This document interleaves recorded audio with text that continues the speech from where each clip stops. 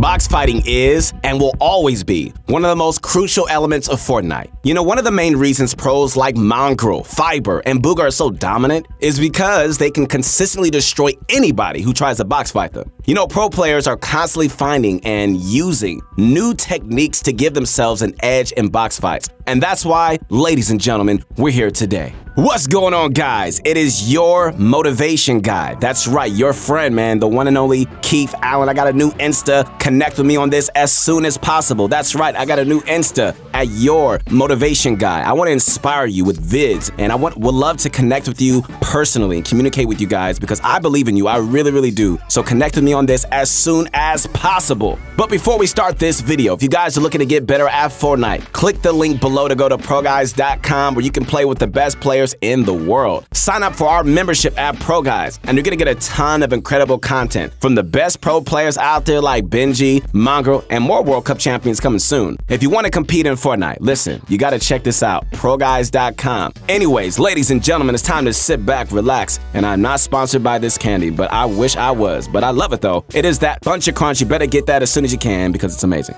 The backwards ramp phase is a new technique that can essentially trick your opponent into thinking you're on top of your ramp when in reality, you're phasing through it and you can score free shots on them. This can easily score you upwards of 100 damage and turn a bad fight in your favor, or even get you an easy kill. To start this technique, alright, this is what you gotta do. Check this out. You have to be inside of a box. Go ahead and jump, placing a ramp below you just like this. Next, edit the ramp backwards by selecting the tile furthest away and dragging it towards you. Good job. Make sure you're touching the absolute back of the box. All right, warning, if you're not fully touching this wall, then the technique is not going to work. Once you're all set, edit the ramp again in the direction facing away from you.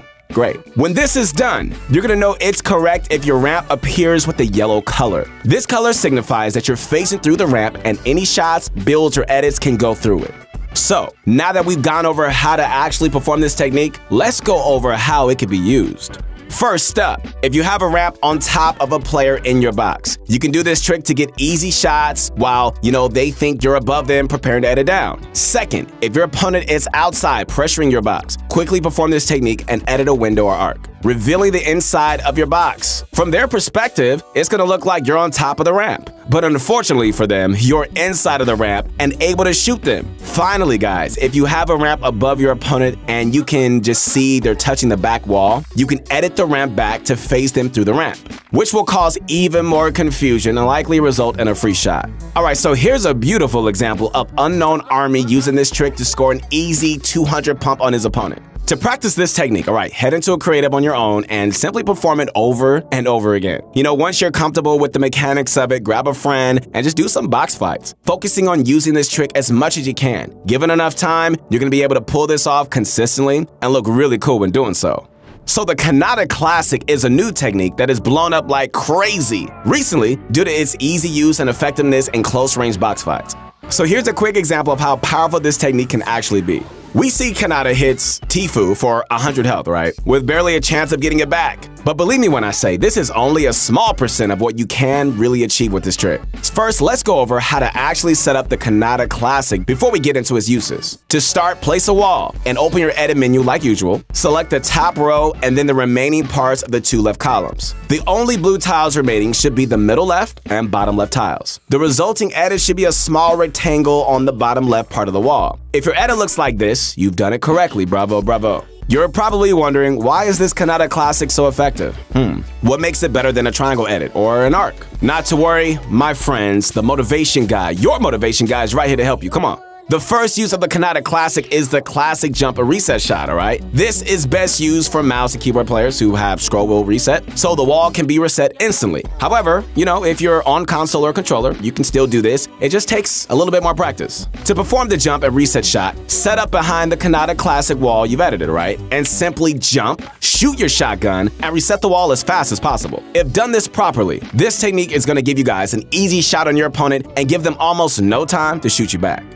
It is so important to practice this reset though, alright? As it can be a bit tricky, especially without scrollable reset. The best way to practice this shot is to simply head into creative. Do the Khanada Classic edit, jump, shoot, and reset as fast as you possibly can until you're feeling really confident, because you know I'm all about confidence. The second use of the Khanada Classic, man, is the good old right hand peek. I love the right hand peeks. Do you guys like the right hand peeks? This one is like a lot more straightforward than the jump reset shot. Basically, the way this is done is by simply peeking out of the right side while crouching, flicking out to shoot, and quickly coming back, either resetting the wall or just going back behind it. When done correctly, it should look like this. Here's a quick clip of Khanada using his own technique to completely destroy a player. Honestly, you know, the Khanada Classic is one of the best techniques available when you're box fighting, due to the ease of use and versatility of the edit. So you got to, guys, you gotta head into a creative with your friends and just practice using this edit over and over again. Until you've gotten the hang of it, you'll know you got it when you can consistently pull it off in your fights. So you may have been watching Mongraal stream at one point, right? Or even another player who has picked up on this technique and seen this ridiculously fast double edit that gives him what basically looks like a free kill. Do you know what technique I'm talking about? I'm talking about the Mongraal Classic. The Mongraal Classic is pretty simple to do, but it does take a lot of practice to get it to speed where it's like super useful. To start this technique, you have to set up for a right hand peek just like this, and then take your opponent's wall. Good job. Once you've taken the wall, edit an arc or a triangle on the left side just like this. Place a ramp inside, and edit the left side of the ramp backwards. If this is done correctly, the result should look like this. You know, the reason why the Mongraal Classic is so great is because you can just get an easy angle on your opponent while they're stuck behind a ramp and unable to shoot you back. You can see here that the opponent has no angle, yet we get a free shot off. There's basically no risk involved unless you just mess up the technique.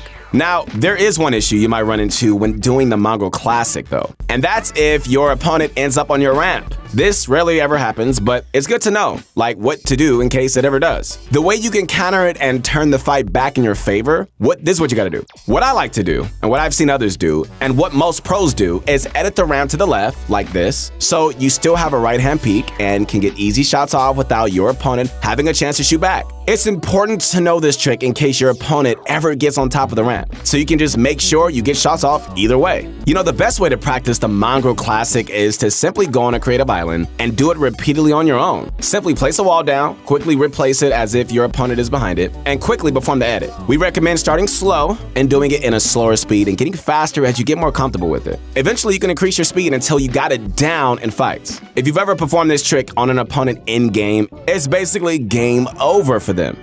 Have you ever been in a box fight, been fighting your heart out, and then you realize you almost have no materials? You're like, uh-oh. this has happened to me, like, more than I like to admit, kind of embarrassed about it. I like to move on. Yeah. If you can ever get into this situation again, we've got a quick solution for you guys that will give you an easy right-hand peek, and it'll only costs you one build. Yeah, I said it, one build. To do this peek, all right, simply place a ramp in a box facing your opponent's box and open your edit menu. Start on the far right side of the ramp, go back towards you to the left, and back up forward, forming a spiral staircase. If you do this correctly, the resulting edit should look something like this. This staircase is to give you an easy right-hand peek from the back, and your opponent is not to be able to hit you. The only counter is if the ramp is broken, which people hardly ever think to do. Alright guys, so check out this clip of Zexrow using this technique to score an easy kill on this opponent who's holding his wall. If your opponent decides to try pushing into your box, here's another solution that you could use that involves a technique we went over earlier. Head to the back of your staircase, crouch, and reset the edit facing toward you. Then while touching the back wall, flip it back around to form the ramp phase technique we went over first. This is a great way to transition into another trick and can score some beautiful looking kills on unsuspecting players. So, you know, replacing your opponent's structures using a shotgun is one of the most underrated tricks right now. Instead of using your pickaxe, where everyone knows to hold their wall, you can surprise your opponent by instead using your gun. Let's be honest here. All right, let's let's let's let's be real. If your opponent stops pickaxing your wall and takes out a gun instead, you're not expecting it to get replaced, right? That's the beauty of doing this. You know, a few numbers to take note of are the structure damage values for Fortnite shotguns. For tactical shotguns, the structure damage from gray to gold is 50, 53, 55, 58, and 60. For the pump, in order, it's 45, 46, 50, 54, and 55. If their wall is below the value for your shotgun, you can quickly shoot it and replace it with no delay, and get some awesome plays from this. Here's a clip of Ghost Aydan using his shotgun to easily replace an opponent's wall. This one is from back in Season 8, but it still shows the same exact technique used in Shotgun Replace in Chapter 2.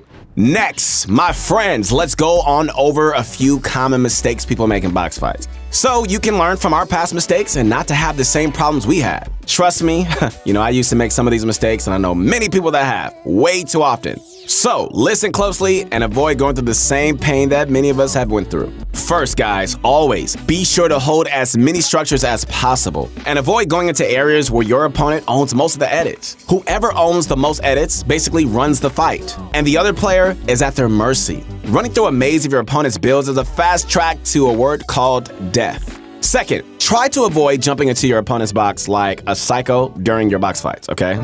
Even if they're low, try to go for safe shots instead to avoid, you know, getting hit by that brutal one pump or a lucky shot they might get. Sure, the odds may be in your favor, I get it, but that could quickly change with a bit of luck for your opponent. Third, never overuse a single technique. You know, we see way too many players overusing one cool trick they've learned, you know, to the point where it's completely predictable and it backfires on them. I'm sure you're excited about it. I get it. But do you have to use it every play? For example, if you've used the ramp phase trick two times in a fight already, your opponent is going to be on the lookout for this technique and it's going to be ready to counter if you do it again. This is the one of the main reasons, man, that knowing multiple tricks is truly important, so you can avoid overly relying on just one of them.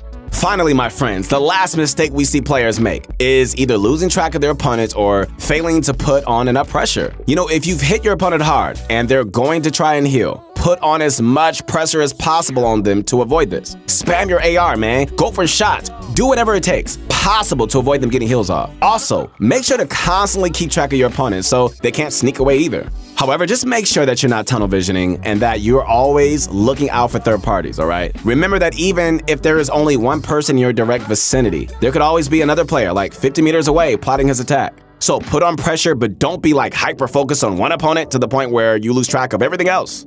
Alright guys, so let's just do a quick recap of every technique we've gone over. The backwards ramp phase is a quick trick you can use to confuse your opponent and potentially score a free shot, turning a bad fight in your favor. The Khanada Classic is an easy, versatile edit that you can use to either get an easy right hand peek or perform a jump reset shot to score damage on your opponent. The Mongraal Classic. You know, it's just one of the most effective techniques to use if you're trying to get a bunch of damage on your opponent without them being able to counter it. The right hand ramp peek is a low material solution to a high material problem.